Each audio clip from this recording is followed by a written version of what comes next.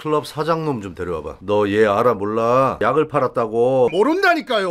이렇게 무고한 사람 잡아다가 강압 수사해도 되는 거예요? 그러니까 잡세라고 그러지. 야, 커피 한 잔 타봐. 아, 큰일 날 소리 하시네. 야, 안 돼, 안 돼, 어? 그러면 우리 진실의 방을 청소하자. 먼지가 많이 꼈네. 아이고 얘가 왜 이래? 괜찮아. 몸이 좀 안 좋았구나.